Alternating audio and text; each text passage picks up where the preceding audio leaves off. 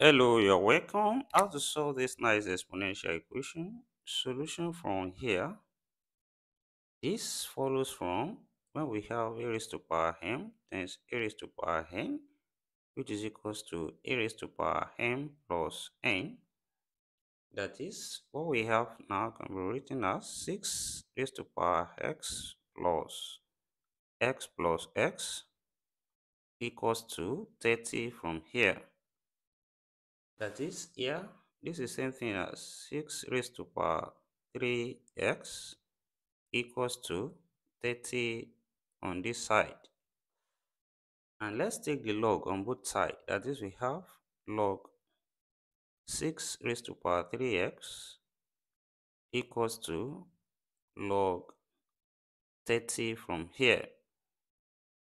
And here, from the power law of logarithm, from log m raised to power p, which is same thing as p log m.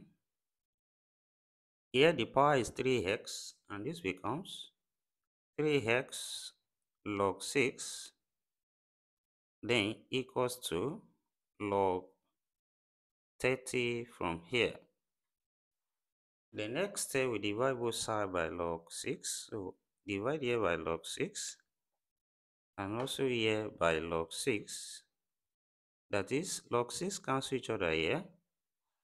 We have 3x now equals to log 30 divided by log 6. And here we can write 30 as 6 times 5.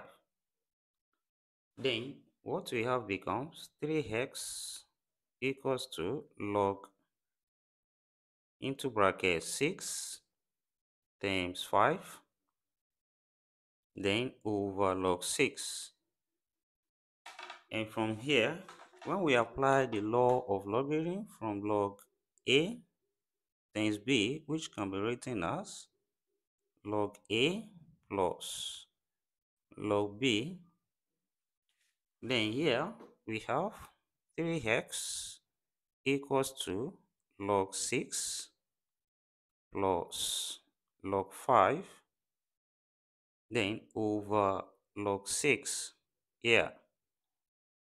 That is from here we can separate this fraction into two fractions and we have 3x equals to log 6 over log 6 plus log 5 over log 6 from here. Then here log 6 cancel log 6 here we have 1 that is, this becomes 3x equals to 1 plus log 5 over log 6. And also here, applying the change of base from log A over log B, which can be written as log A to base B. Then here, we can write this again as 3x equals to 1 plus log 5 to base 6. Then, since we want to find the value of x, we can divide both sides by 3 here. That is 3 cancel each other here, and we have x left, which is now equals to 1 plus log 5 to base 6 over 3. So here we have the value of x in this given problem as 1 plus log 5 base 6 over 3. Now let's check if this will satisfy the given problem. That is, we substitute the value of x here, which is x equals to 1 plus log 5 to base 6 over 3 here then this equation becomes 6 raised to power 1 plus log 5 base 6 over 3 then times 6 raised to power 1 plus log 5 base 6 over 3 also times 6 raised to power 1 plus log 5 base 6 over 3 is equals to 30 from here. Then since this have same base, we can add the power which is same thing as 6 raised to power 3 multiplied by 1 plus log 5 base 6 over 3 then is it equals to 30 from here. And here this power multiplies and 3 cancel each other here. So we have 6 raised to power 1 plus log 5 to base 6 and is equals to 30 from here.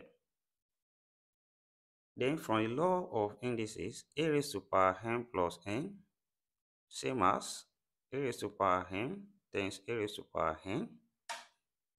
And here this becomes 6 raised to power 1 times 6 raised to power log 5 to base 6 equal, is equals to 30 here. And 6 raised to power 1 here is still 6.